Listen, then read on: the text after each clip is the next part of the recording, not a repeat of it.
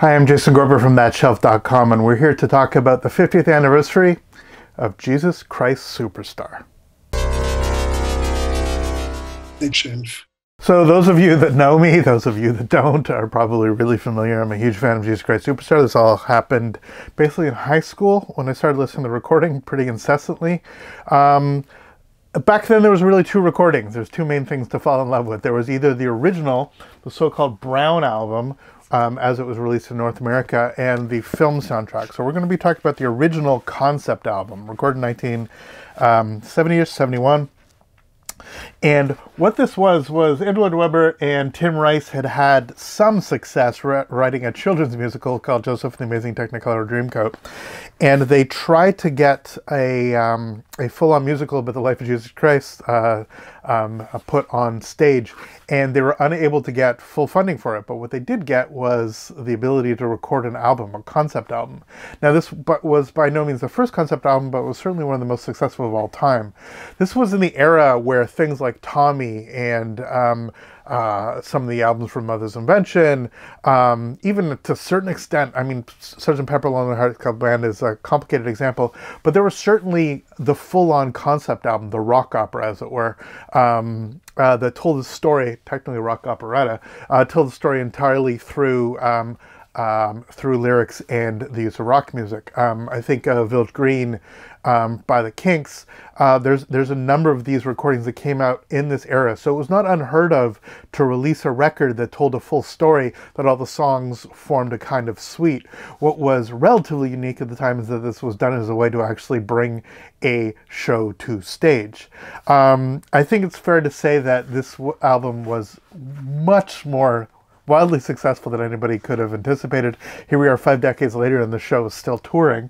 Um, but nonetheless, um, the story of Jesus Christ Superstar um, in itself is kind of uh, remarkable. Um, you have in the original cast a series of rock musicians. Um, some of whom hadn't quite had the hits that they were uh, about to have. Ian Gillan, who was the um, uh, original Jesus on this version, uh, was the lead singer of Deep Purple and actually would have um, significant success after this. The Grease Band, which was the backing band of uh, Joe Cocker, formed um, the primary uh, instrumental uh, sort of core rhythm section of this. And um, if, you, if you start listening to some of the stuff that they did with Joe Cocker, um, uh, the Leon Russell stuff, um, um, it's extraordinary. There's incredible musicianship on here. Um, you have the uh, Trinidadian backup singers, Murray Head, who would go on to be a major, had a major hit actually from with a song from Chess, um, the uh, uh, One Night in Bangkok, um, a decade and a bit later, one and a half decades later, um, thanks to his uh, role in the the musical written in part by uh, the two guys from ABBA. Yvonne Elliman, who had come from um, uh, the original Broadway show, I think that she was an understudy who eventually became a lead Mary. Um, Barry Dennen, original Broadway and original UK, if I'm not mistaken. Mike d'Abo from um, uh, Manfred Mann, um, uh, playing King Herod. Caiaphas, uh, Victor Brox, uh, Johnny Gustafson as Simon, uh, Peter's Paul Davis, um, and sort of you had here basically as Caucasian as the cast ever got, and yet nonetheless there's some incredible stuff going on here. My love, my the, what I fell in love with was the movie version and the Ted Neeley, Carl Anderson sort of duo.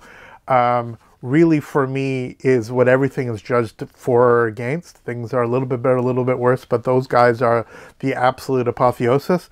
But Ian Gillan here is just unbelievable. His voice is fantastic. And Murray Head, though he lacks obviously the gospel prowess of what Judas, the role Judas really demands, he nonetheless does a very, very good job. He probably would have made a better Jesus than he would have a Judas in terms of how the song's actually written. Although I'm not sure he could have gotten that um, uh, amazing rock falsetto that uh, that uh, the role demands. Hello, John Legend. Um, so again, this was the version that most people knew. Certainly, I had it on CD. But the the Brown album version, this is the one that comes with a libretto. This is an original pressing, and it comes with a nice little book. Inside the book, you have all the lyrics on this sort of snot-colored uh, yellow parchment. Everything going on. Um, it was a nice box set that many, many, many people had, and the actual records have the famous uh, superstar uh, angel logo. In the UK, however, um, the the record actually came out in this much more gaudy but kind of interesting cover. Um, the font, if that doesn't say late 60s, early 70s, I don't know what will. But this being a first UK pressing, actually has a unique construction. It sort of unfolds with this shiny stuff on the inside. It forms this kind of cross-like thing inside we have the records on the MCA UK. Just get it so you can see that sort of weird swirly uh, image. The original sleeves, because I have it in MoFi, are these old school brand, uh, bragging that it's stereo inners, but you can see it's a plastic inner with paper on the outside, so still not not bad. That's why the records are in reasonably good shape. And on the inside, you have this wild image, different different images of Jesus told from the very simplistic and childish to um, uh, sort of oil paintings and that. And that's that's how it was originally structured. Um, this version is actually worth a little bit of money now. Um, it was the the first and limited edition of that. Um, and uh, I'm happy to have them in my collection. The recordings always were, were okay. Um, the mastering was decent, actually much, much better than the movie version. The movie version is in desperate need of uh, a complete remix. It would be unbelievable for somebody to actually go to the master tape and completely uh, do a good job because the, the, the mix is not a very musical mix. It was obviously in the film version, they're, they're emphasizing the, the, the vocals as dialogue. Um, but it sounds very thin and uh, mono, especially as my system gets better. I realize how much worse it sounds than it should. Um, the Andre Previn Orchestra, all that stuff. But again, that's for another conversation. But what we have now here in the late autumn, um, late summer, uh, they released um, uh, box sets um, available, some of which were exclusively on the uh, Universal Music Group website. I had to order them from the States. They would not deliver to Canada. And so I ordered a shipment. It took many, many days and weeks. And then when the shipment came to uh, uh, my the residence in New York that I was sending it to, disappeared, gone whoever left them there either left them outside or delivered the wrong address. And I have spent months trying to get these records back, months and months and months and months. They finally were meant to be delivered the day before the person was coming from New York, so I was going to have them, whatever. It's all a whole schlemazel, as we say. Uh, but nonetheless, I have finally, finally, a box from UPS um, with with these records. This has been uh, wrapped um, by the person who's supposed to send them to me. So I want to open this up and see what we have inside. Okay, all lovingly packed inside. I have two copies. One's obviously not for me, but two copies of the limited edition. We'll open that up in a sec. And also beautifully packed the box set. So let's start with the box set. Um, the album will launch a phenomenon. Jesus Christ Superstar, original 1970 recording. What's 1970? I could never remember because the 50th anniversary. Welcome to COVID. We lose a year. Um, remastered Abbey Road contains a 100-page book with new interviews from Andrew Lloyd Webber, Tim Rice, Nile Rodgers, Nile Rodgers, God bless, uh, Ian Gillan, Matt Berry, of course, Yvonne Elliman, plus a disc of rarities. So this is basically the first two um, CDs, right? It was always a two CD set, and CD3, which has um, some uh, um, some uh, not B sides, but some stuff that has never been released before, which is fantastic. I this has been on Spotify and streaming other streaming services uh, since it was released, and I've been avoiding because I want to listen to it this way because I'm a crazy person. Um, we got guide vocals on here: um, Herod Song, uh, Blood Money. I don't know how to love him. Tim Rice and Murray Head doing the vocal. That'll be pretty wild.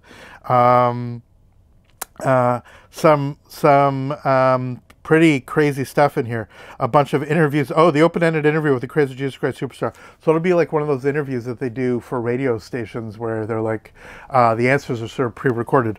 So kind of interesting, but again, a really, really uh, nice set so far. Let me carefully open this up and see what the book looks like inside. Now, as per usual, the, all these extras are only available on the digital version. So, yeah, welcome to my life of needing to have both. So inside, this is kind of nice because inside the Brown album, you have the star. What do we want to call this? The sort of mush album. Regardless, uh, there's there's the without the font, uh, that sort of original uh, type logo. Inside, two CDs here. And in the back, I'm guessing the bonus CD. And then we have here, yeah, the original script elements, artwork, different elements, different posters. I'm really looking forward to diving into this. So yeah, it definitely looks like a really, really nice set. Basically, there's one CD in here I'm going to listen to and read the book. Uh, the rest of it is bonus, but it's nice to have as somebody who still collects the CDs because it's Jesus Christ Superstar. Then we have the record version, which as you can see, has the same kind of fold as the original.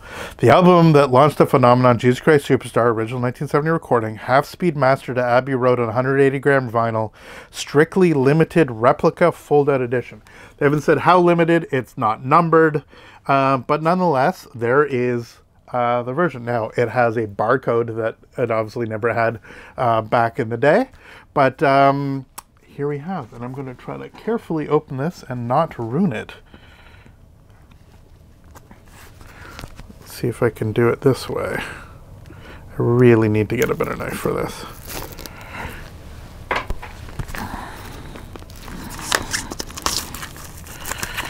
Okay.